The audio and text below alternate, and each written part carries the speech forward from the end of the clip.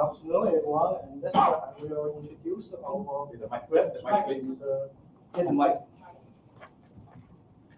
I will introduce our practice and the experience of volunteering on this farm. This talk will be done by me and my two partners.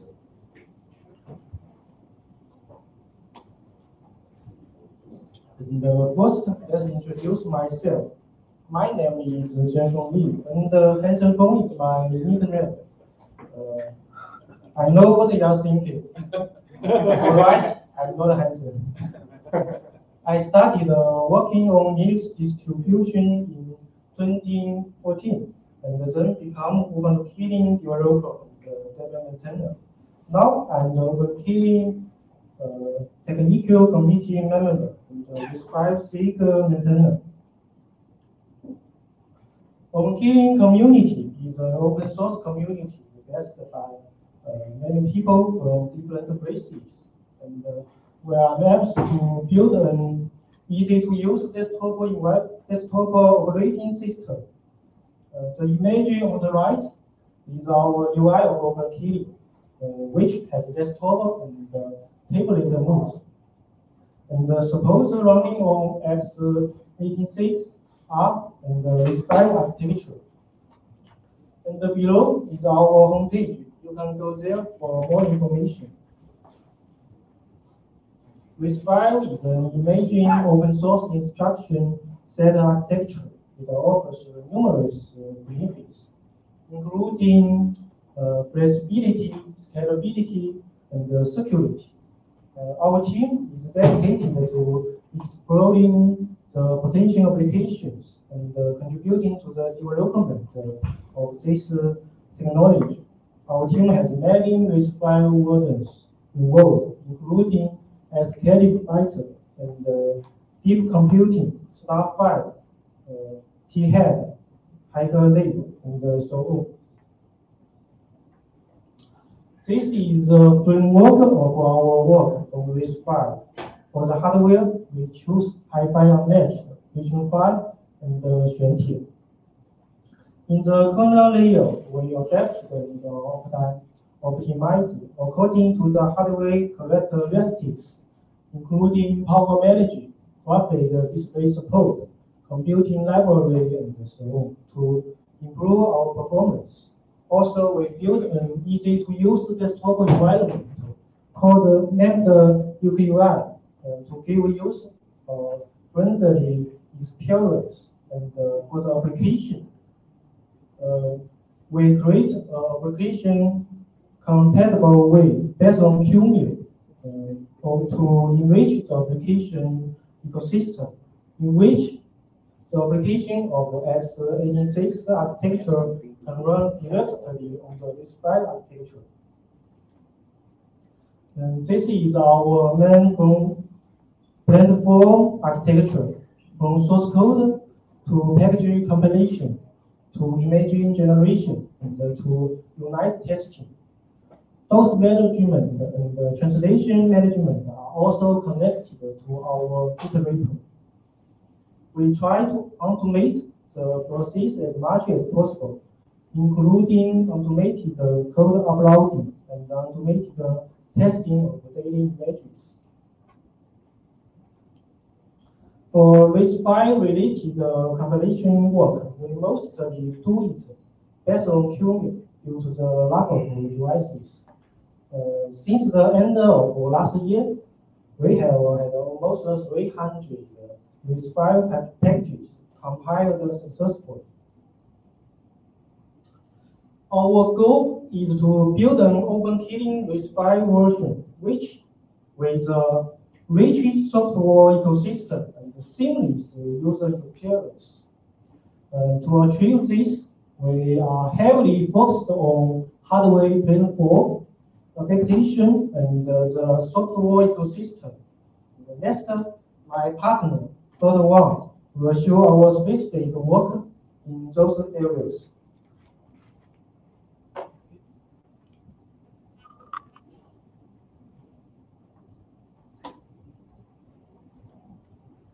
Good afternoon, everyone.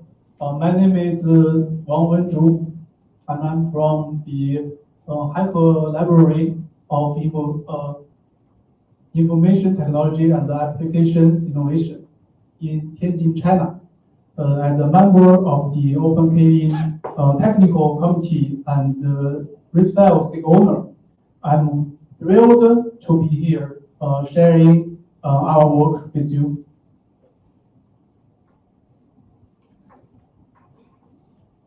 Uh, my teammate Li Jianfeng has already introduced uh, the work of the openKylin community, uh, which covers software compilation and system structure. structure.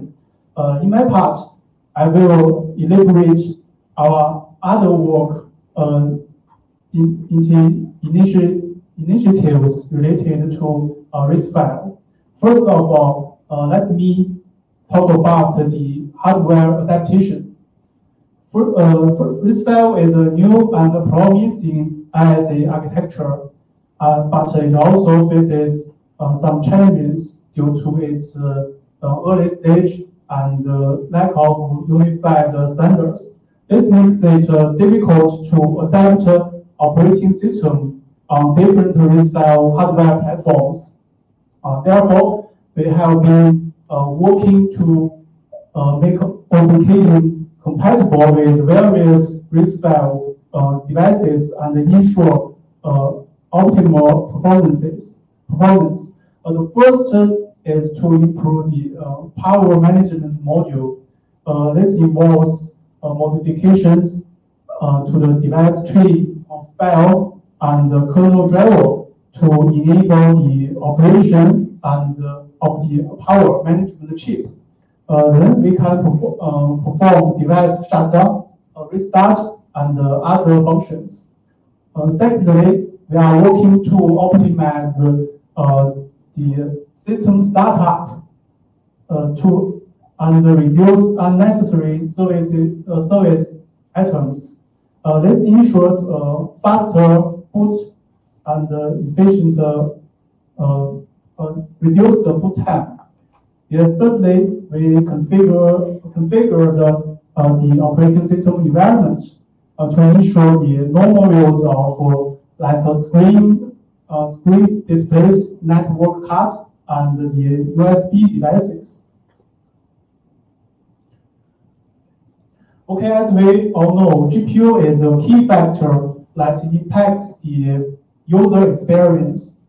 Therefore, we have uh, developed a complete GPU software stack uh, to provide a seamless uh, user experience. The first uh, component is the driver in the Linux kernel. Uh, this driver controls the GPU hardware device managing the uh, input and output of computing tasks. The second component involves adapting and calling GPU-related libraries, including Mesa, uh, GStreamer, libGL, and other labs which are essential for GPU. Uh, thirdly, we have completed the adaptation between openKylin UKUI and uh, the uh, other software uh, to ensure normal use of GPU in desktop environment. Uh, finally, user mobile applications such as video playback and the web browsers are modified to utilize the GPU library calls. This results in a higher performance and better vision experience for the user. So building a, a rich software ecosystem for RISC-V is another key task that we have been uh, actively pursuing. Firstly, we have created a, a suite of tool, uh, tools and resources aimed at helping developers using, use RISC-V more easily.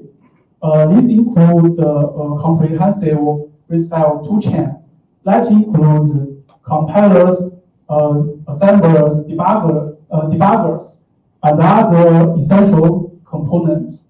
Uh, additionally, we have created a software library that provides a range of calling functions and uh, modules for RISC-V based systems. This library includes various drivers and uh, utilities that uh, enable quickly leverage the functionality of uh, the RISC-V hardware. Also, we have built the basic user applications such as Firefox, LibreOffice, FFmpeg, and uh, openKylin uh, self uh, software, yeah, which can meet the basic needs for the uh, daily work. So finally, we have uh, established the document and the support channels to help developers uh, learn about the RISC-V and address any problems they may encounter.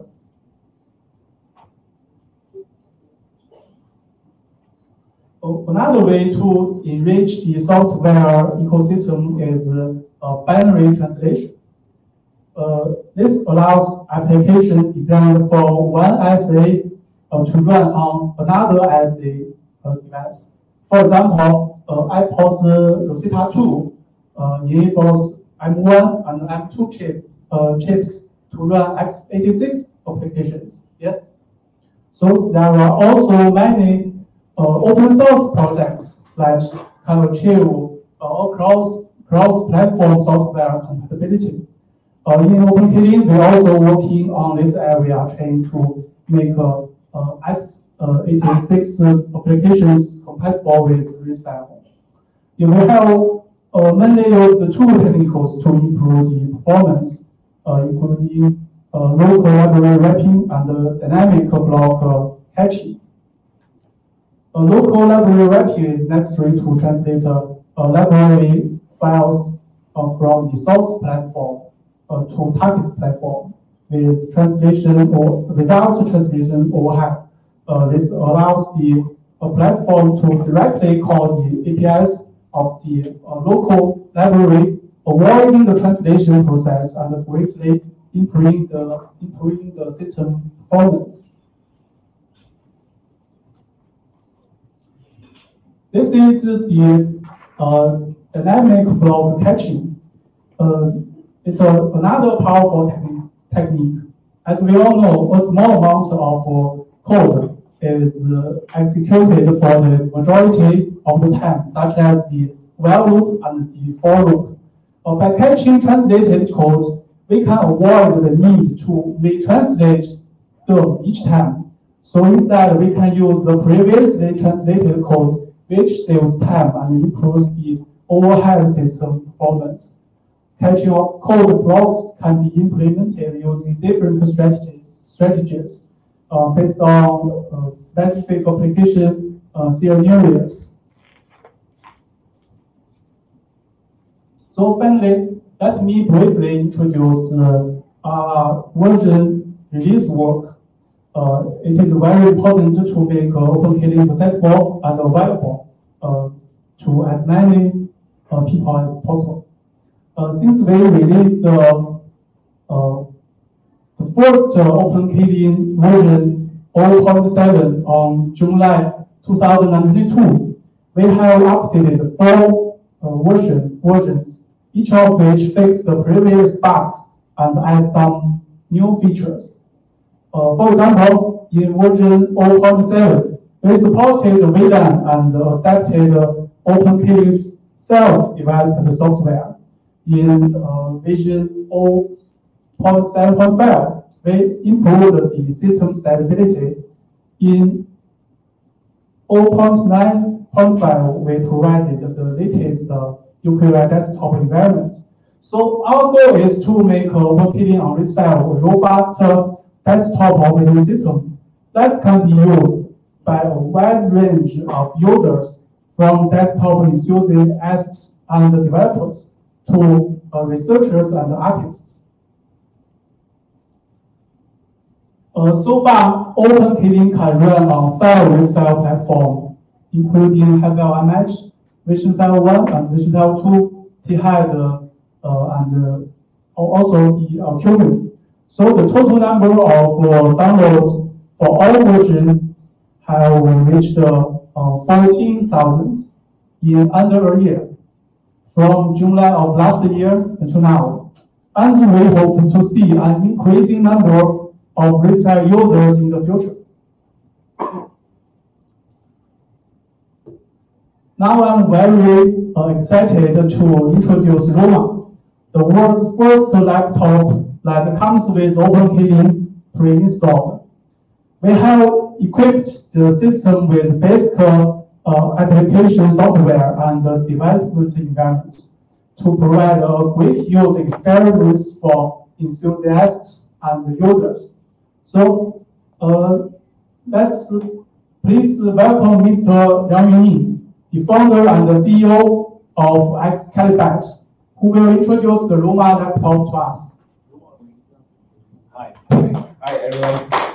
Thank you very much for the great introduction on the open key stuff and great stuff. And um, I tell you the story why I started to um, um, making the first laptop of my life.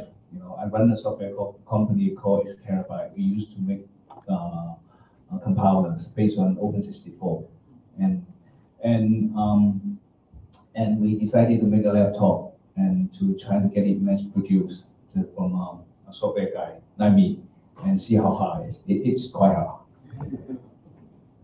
So, and and this is this is the reasons. Now the reason is that we want to have an experience of x86. We can carry around and play with it, and we can compile this by code straight away. We don't need any cross compiling.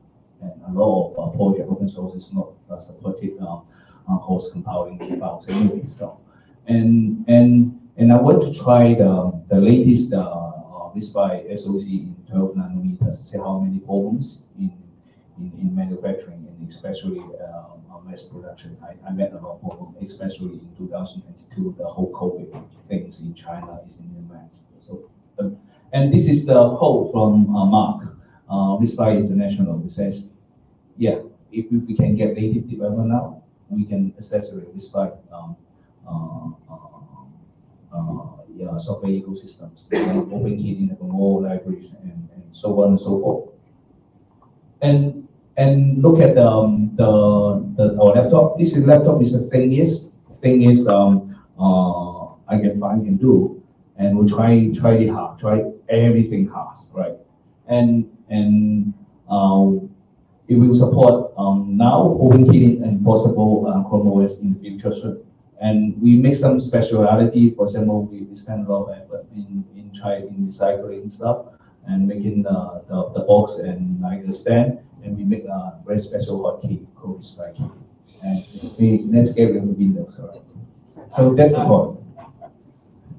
And yeah, you will see if if see if the window can can can can show me here.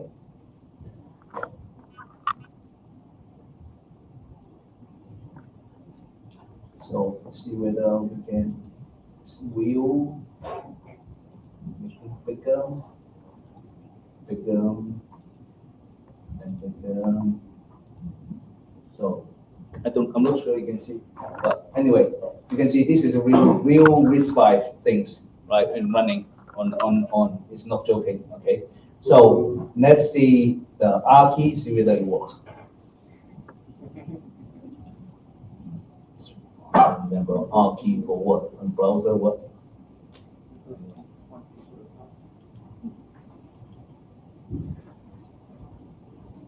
it takes a while to pop up. So you can see it's very bumpy, very slow.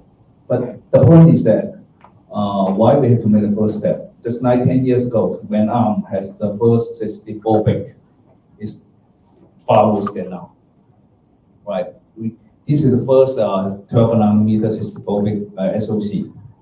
So, and, and now, uh, in my experience, I put the first uh, ARM 64-bit on Android uh, for Huawei. So I have I know, I know all the painful things. I think now this five is evolving with that kind of performance is far better than now 10 years ago.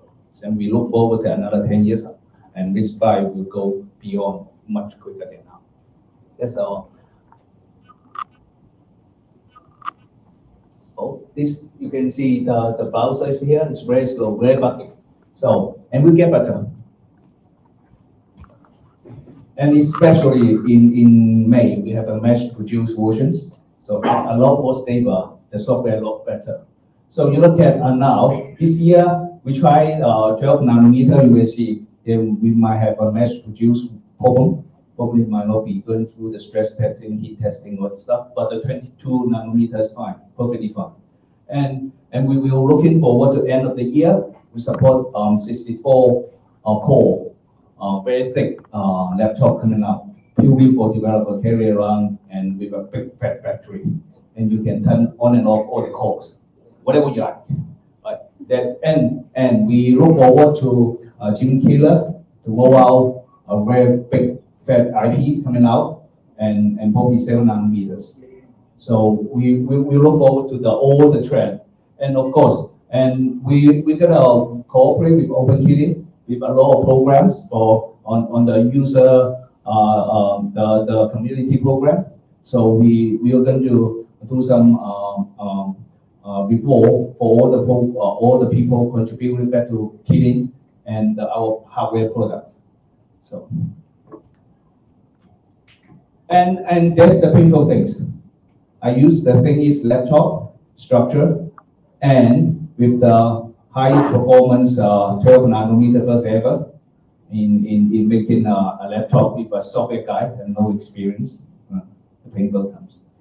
Right, and and we we gone through you can see this is the, the pictures that the, the SOC uh, not designed good enough for mass produce, and we need a very high precision uh, soldering, uh, just like uh, uh, uh, mobile phone. But mobile phone is a lot of uh, high volume, and I can't book the capacity at all for just doing the soldering on the board. but anyway, we get it. we, we get it done by we get it around by by some help good friends. And this is our motherboard. So the motherboard, we have a, a, a, a we call it a SOM module. We can plug it in, and the motherboard we're going to reuse. We're trying to reuse, especially after a while, we have our own uh, chipset coming out. We will, all the motherboard won't change, and but the the, the SOM will change according to the SOC upgrade.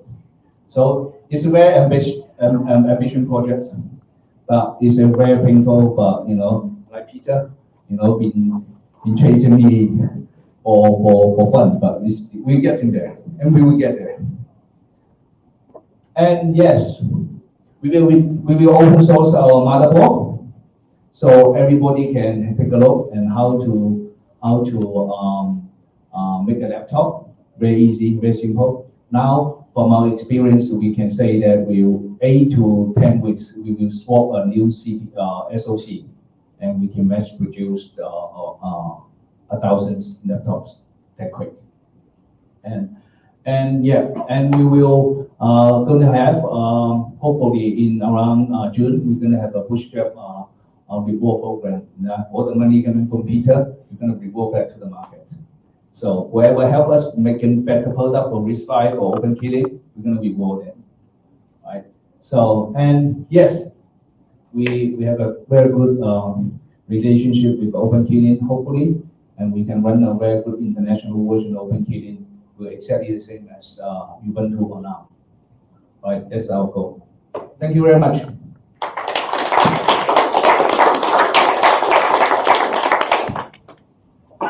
Thank you. Um, questions? Anybody? Any questions? So yeah, so um, I got one of the original RISC-V chips that was ever made when they did the thing going, and I'm kind of curious, like, where are you seeing compared to like the like the ARM is good progression, right? How do you feel like it's going to come out as far as uh, power versus performance as it, as it evolves? From the hardware side, I would say that is um, it's a chicken and apple, you know, and, and the power and performance always uh, a triangle balance. And and I would say, uh, hopefully, the battery. If, if I say that we're trying to compare x86, and I would think it's better, but if for ARM, I don't know. Right? In the short term, no. But if you give enough time, three to five years, and my yeah, of course. Yeah, you need time to evolve. And, and the point is that we need, the one thing now, um, all the SOC, uh, company got a problem, they always come to produce a development board, it's not the final product. That makes the, the, the, the growing is hard. You got to go into a mass product, no matter how crap it is. Right? So to move it, it evolve quick, quicker, otherwise, everybody waiting, the showing of the, the development board is not gonna help. But you got to test the market. And if you fail, then you make it better. You know where the better at the moment. Development board can't tell you where's better, where's good, where's bad. That's my question. Hopefully I answer your question. Good luck. All right, more questions in the back? Hey, it's, it's really great to see a, another open laptop. I'm curious about the case and the shell. Uh, is that something that you've developed all the ID yourself, or is there a, a library that you can go to that gives you things like the screen and the touchpad and all of that, you know, like a standard uh, display connection, things like that? And, and I would say that, uh, all these, uh, in, in, in South, Southern China, the Bay areas, they have a lot of, uh, we call it, uh, common mode. Like basically is that you can pick uh, of the libraries. And then people can just mass produce it with no uh, copyright and blah, blah, blah, whatever it is. And, and there's some fancy things, there's some untested things. And like this one actually is mass produced in, in x86 and in the latest i7. And uh, this year from i9 with bigger screen. So we use the, uh, uh, the, the tested version of it, the structuring, and, and we just change the board uh, to, to this type. Does that mean you're thinking of doing it again?